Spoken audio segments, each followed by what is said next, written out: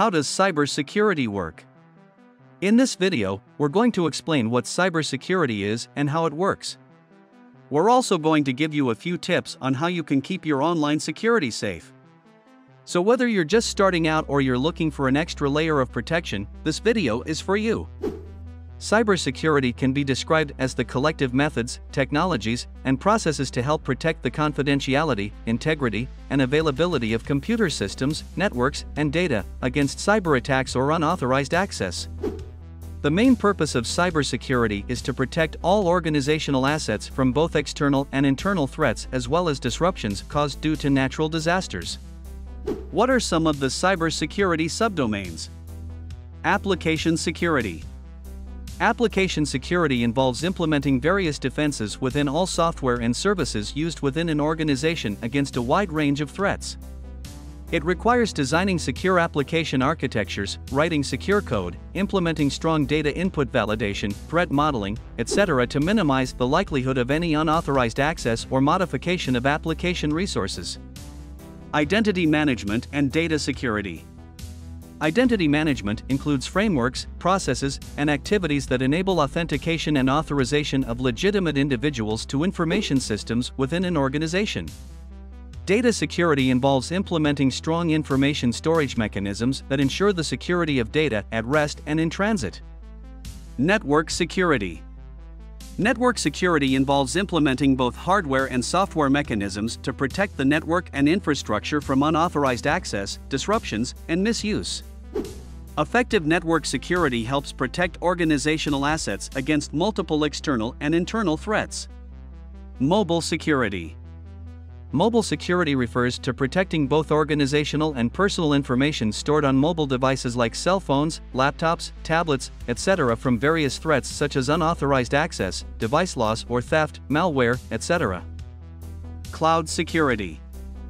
Cloud security relates to designing secure cloud architectures and applications for organizations using various cloud service providers such as AWS, Google, Azure, Rackspace, etc. Effective architecture and environment configuration ensure protection against various threats. The importance and challenges of cybersecurity. Given the rapidly evolving technological landscape and the fact that adoption of software is ever increasing across various sectors including finance, government, military, retail, hospitals, education, energy to name a few, more and more information is becoming digital and accessible through wireless and wired digital communication networks and across the omnipresent internet. All this highly sensitive information is of a great value to criminals and evildoers, which is why it is important to protect it using a strong cybersecurity measures and processes. The importance of good cybersecurity strategies is evident in the recent high-profile security breaches of organizations such as Equifax, Yahoo, and the U.S. Securities and Exchange Commission, SEC, who lost extremely sensitive user information that caused irreparable damage to both their finances and reputation. And as the trend suggests, the rate of cyber attacks shows no sign of slowing down. Companies, both large and small, are targeted every day by attackers to obtain sensitive information or cause disruption of services. The same evolving technological landscape also poses challenges in implementing effective cybersecurity strategies. Software constantly changes when it's updated and modified, which introduces new issues and vulnerabilities and opens it up for various cyber attacks. Furthermore, IT infrastructure evolves as well with many companies already migrating their on-premise systems to the cloud which introduces a whole new set of design and implementation issues resulting in a new category of vulnerabilities. Companies are unaware of the various risks within their IT infrastructure and hence fail to have any cybersecurity countermeasures in place until it's far too late. What's the difference between a cyber attack and a security breach?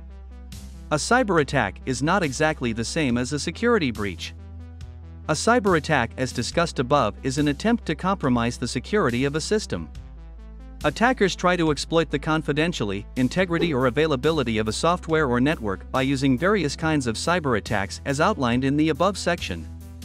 Security breach on the other hand is a successful event or incident in which a cyber attack results in a compromise of sensitive information, unauthorized access to IT systems or disruption of services.